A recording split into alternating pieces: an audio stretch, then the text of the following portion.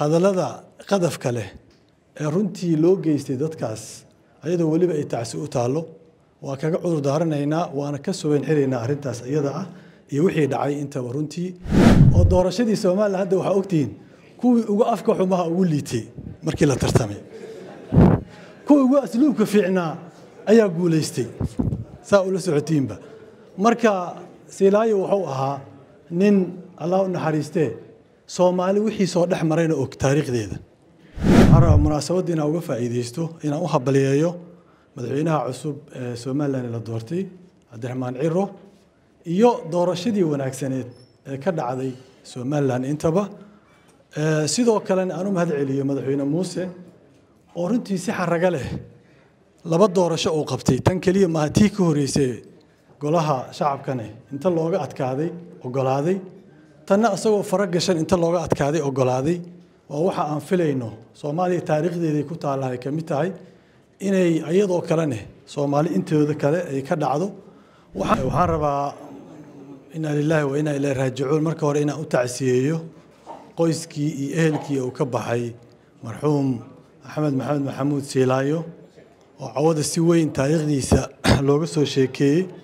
Iyo mudnaantii ou laha axmed wuxuu ka mid yahay dadka xusuus wadareedka soomaalida ama taariikh wadareedkeenna qaybta ka ah sida la sheegay hadday tahay dowladdii rayidka hadday tahay dowladdii kacaanka hadday tahay halgankii la galay sida la sheegay isagoo wasiir ah ayuu siddeetan iyo labadii odayaashii siday sheegeen cabdiqaadir aadan cadde iyo dhabanacad siddeetan iyo labadii ayuu ka tegay xilka wasiirnimada.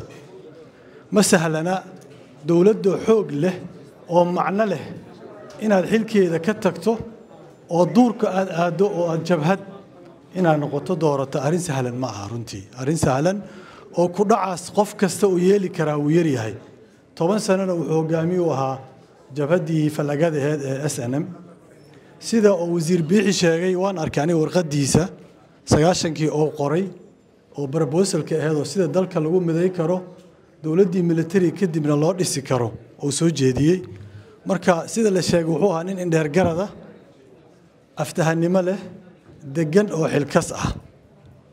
Allah u naxariisto dulqaadla u leh. Dad badan waxaysan sheegin markay dhacday colaaddii kalshaale.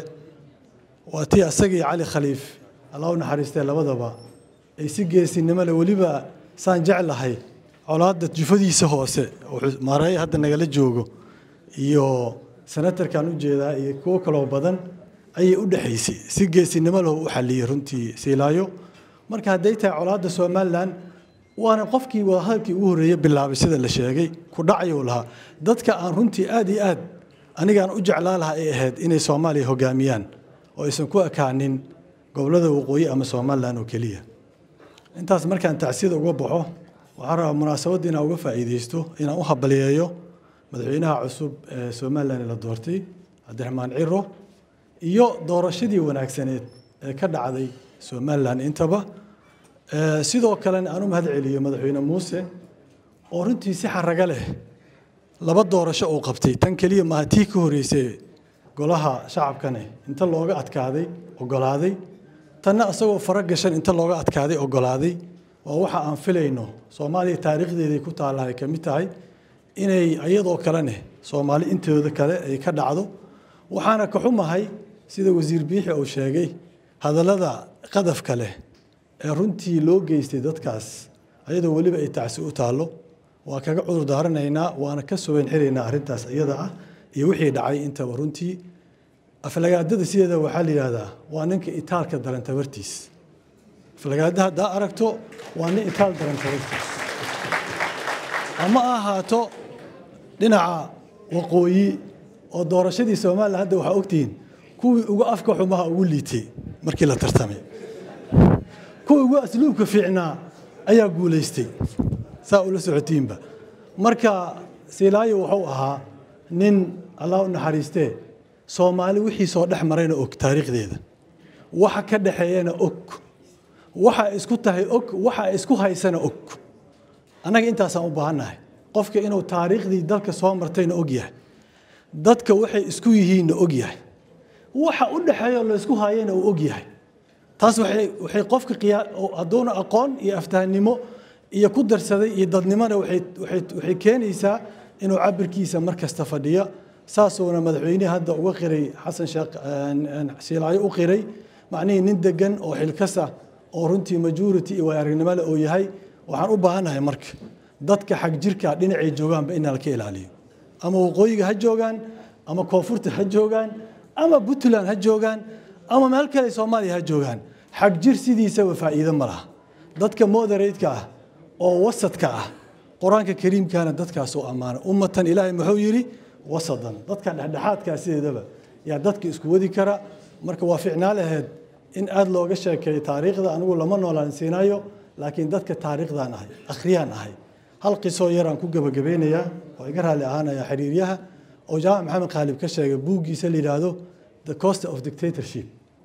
Wuxuu yidhi sida hadda wasiir aadan iyo ay sheegeen iyo wasiir cabdiqaadir aadan caddaba ay isku jiilka ahaayeen nin dhiiran oo ahaa runtii. Laakiin si asluub wax u sheegay. Marka wuxuu yidhi golaha wasiirada waxaa la keenay tirakoob ka badbadis ah. Gacaanka wuxuu jeclaa dadka in la badiyo markii la tirinayo marka asagana wuxuu diidanaahu duray methodologiga ama qaabka loo maray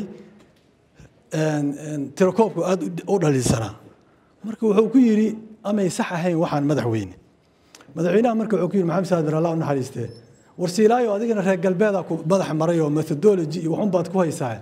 Annaga ma reer galbeed oo kalean sidoodiyaan noqon karnaa wax ku keeni karnaa. Marka wuxuu yidhi madaxweynuhu haddaan tirada badin yidhi waxay dhaawacaysaa isbitaaladii iskoolladii aan dhisaynay dadkaan ku jaangoynay ayay ka hor imaanaysaa meeshaasna ceeb baa nooga imaanaysa. Madaxweynaha marka wuu fahmay marka wuxuu yidhi waa runtaa marka markuu xataa samaynayo jallenjiga ama uu wax diidayo ninku dhaclu ahaa nin aqoontiisa kaashado ahaa waa mahadsantihiin ilaahayna ha u naxariisto ehelkiisa iyo annaga dhanna sabar iimaha naga siiyo waana mahadsantihiin